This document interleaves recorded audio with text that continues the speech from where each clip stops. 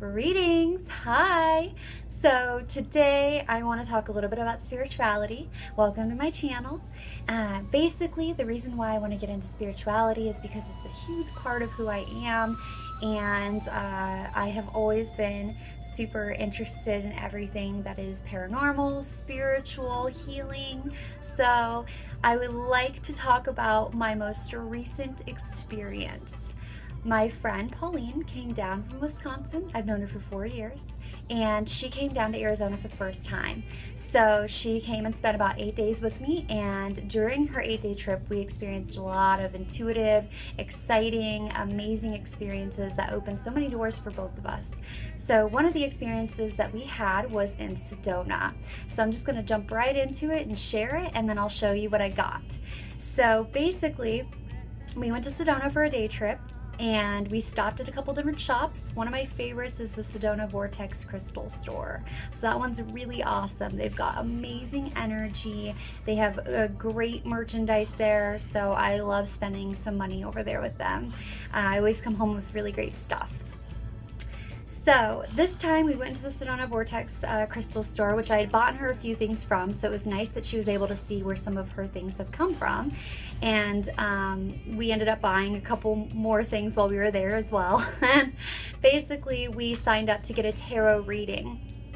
So we were gonna be back to back. So we had spent about an hour in this shop uh, in Sedona. And basically she went in we had already made our purchases and she went in to go get her tarot reading and i decided that i was going to sit down and relax and wait for her to be done so that i could go into my session with the same lady so while i was waiting for her session i uh, was just relaxing near this computer system and um, in the shop and i'd already made all my purchases so i was kind of going through everything that i got and i like look up to the left and I see all these pendulums, but one of them just stuck out. And I mean, it stuck out like a sore thumb for me for some reason. And I just went up to it reactively. Wasn't even thinking at this point. I just went up to it, grabbed it, and I started to like have an experience with it. I like ended up talking to it and I was asking it questions and I was getting answers pretty quick and I've never used a pendulum before. So I was like, I felt like I was telepathically communicating with it. And it was really interesting because it wasn't just telepathically, I was also very vocal. And it just naturally came out of me. Like I just naturally wanted to connect with it and I felt that the energy was there to do so. And so I did. And I did actually create a pretty extreme connection quickly with it. So what I ended up doing was I ended up freaking out a little bit in excitement and I looked over at the two ladies that had helped Pauline and I while we were in the shop. And I was like, is this like a thing? Does this like happen? Do they just like jump out at you? Like, is this, this was crazy. Like, I felt like it found me and I found it. And it was just pretty interesting. And they were like, yeah, like it'll take to people sometimes. And it's really neat when it happens. And so I went up to the front and I'm like, well, I got to get it. So I'm like, I've already had an experience with it. I've already asked it questions and I told it how I wanted to answer me. And I didn't even know that I had that in me to do that, but I did it. And the lady that was, there was a lady checking out at that time and she was a regular. So she lives in Sedona and she's a regular and she goes, well, what, it, that's really pretty. And she's like, what is it? And I said, I think it's amethyst. and she's like, yeah, it looks like amethyst. And she's like, um, what's your astrological sign? And I was like, oh, I'm like, I've, I've been in astrology my whole life. So I'm like, oh, you know, I'm an Aquarius. And she's like, Ooh, that's cool. She's like, Amethyst and Aquarius really get along, and Amethyst like to speak to people. So I thought that was pretty neat. So now I'm going to show you what I ended up getting and the donut. Isn't it cute? Her name, I named her. So she's a she's like a pet, by the way. The feeling of having a pendulum is like having a pet. So basically, I named her Lady Amalthea. Uh, my name is Alyscia. So my initials are actually ALM. Lady Amalthea is from my fav one of my favorite movies called The Last Unicorn. And it's a movie of a lone unicorn who goes into search for all the unicorns that are missing in the world. And in her search, she becomes a woman at one point in time and they name her Lady Amalthea. So I thought it was kind of cool because the beginning of her name, Lady Amalthea, is ALM, and those are my initials, ALM, Alm. So I thought that was really neat. And I basically totally love her. And she is totally like my pet and I take her everywhere with me. And she has actually been able to locate my keys. So I had left my keys somewhere in the apartment. I do that on occasion. Um, I'll just kind of like put them wherever and um, they're never fully lost or anything but they just get placed in different weird little places so I decided that it would be a really good opportunity since I had no idea where they were um, to ask my pendulum and see if it could locate them. And she did in fact locate them. So I had asked, uh, are my keys on the floor? And she said no. And then I said, are my keys on the couch? Because I thought they were. I was like, they're probably on the couch. And no. And then I said, are they on a chair? And she goes, yeah. Like, yes, definitely. So then I was like, okay. So I, I like, I like went and checked all the chairs and then I checked my bedroom chair, the last one, and I was like, and they were on there. They were on my chair. So I was like, that's really cool. So I've predicted a lot of things since then. I don't do any future casting. Uh, I do a little bit of future casting, but I don't do a lot of it. Just because so many things can change in the future that, I mean, even if you sidestep different, like the whole thing could shift. So what I do is I use I use my pendulum for my tarot. So I do tarot as well. I have tarot cards. I have two different decks. And basically I use this to gain more clarity on my deck. Um, so I use Rider Waite and then I use one by Ashina. I met her. She's a local artist who lives in Carefree and she does geometric tarot cards. So I have a deck of hers.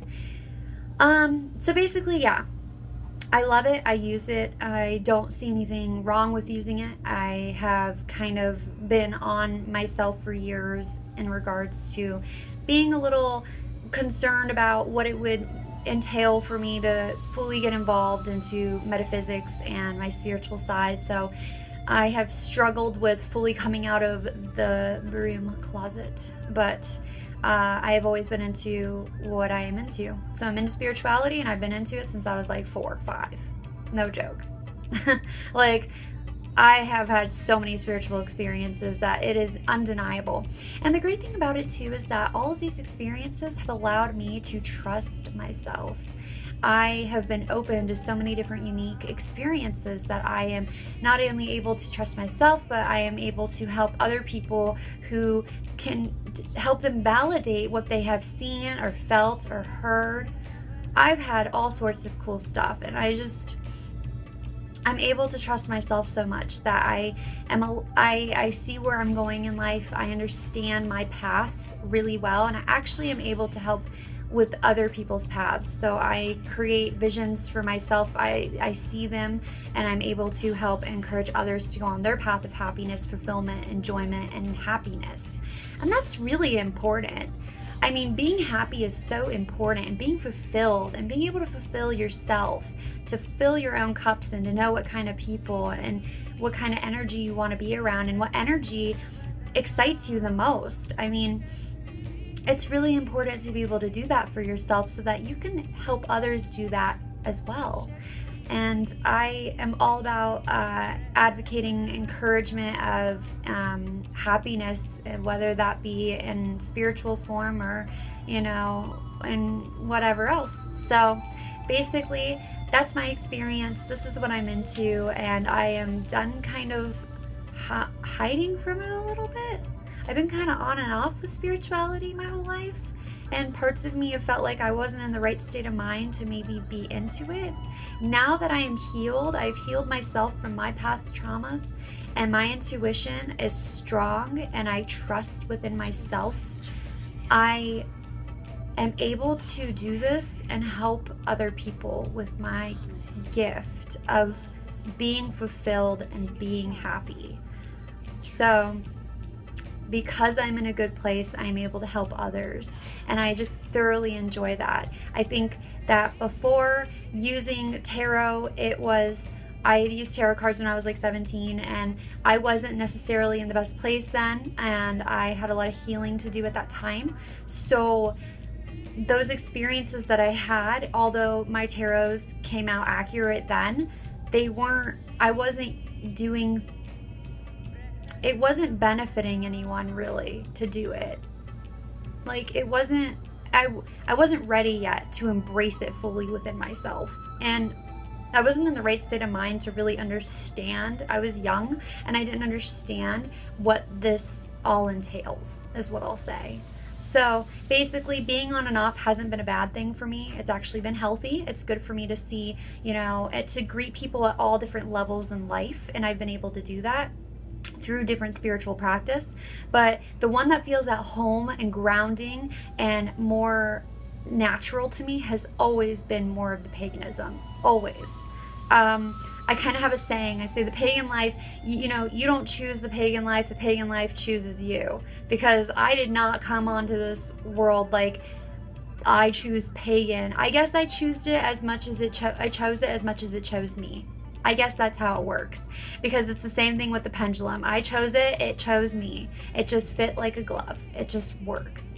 So that's been my experience and I am hoping that um, everybody else, you know, is fulfilled and are finding their path.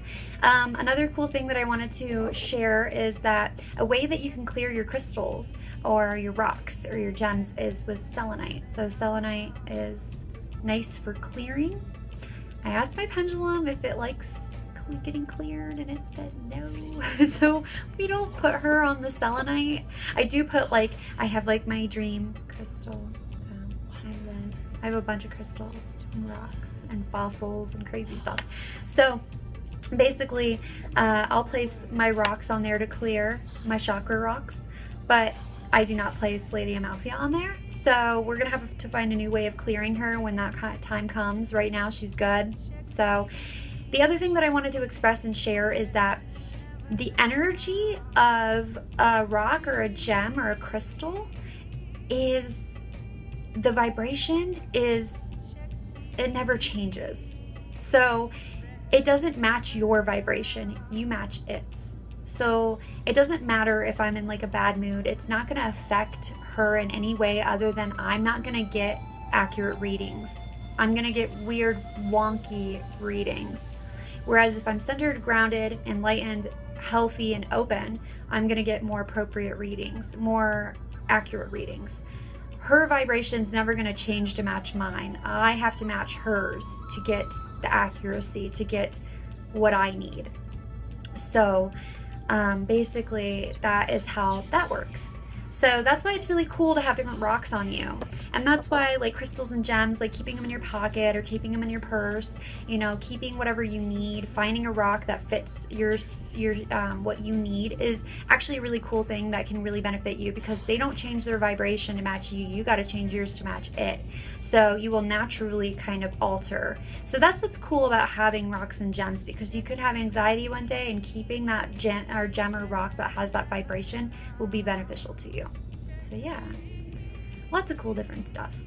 So I would like to get into it more in a different video, but I think Mike's home. I think Mike just got home. He probably knows what I'm doing in here, so he's probably like trying to stay away. I'm gonna go make sure that he's here. I think I heard somebody coming. So if you have any questions, please comment on the section below, or you can message me I'm to put this on my Facebook and my YouTube page. So yeah, and I'm to be on more talking about skincare. Um, the other thing too is the beauty industry is really interesting. So the beauty industry is very spiritual. We have massage therapists, hairstylists, estheticians, acupuncturists, and all of them are, uh, not all of them, um, but a lot of them are very spiritual because we are literally putting our hands on people and we're feeling their energy and we're connecting to them and we're opening ourselves up or shutting ourselves down and we're figuring that out intuitively how to connect and reach people on multiple different levels. So the beauty industry is actually a very healing industry, or it can be. I think it could also be the other way. I've been in the medical spa industry and I've seen a lot of damage come from that. So I have seen healing and I have seen damage come from it, and it's all felt very spiritual to me. So it's interesting, um, and that's something that I'd like to talk more about as well. Uh, so, but for now, I'm gonna go because I shared my experience and you know a little bit about me, and that makes me happy. And I hope you got something out of it.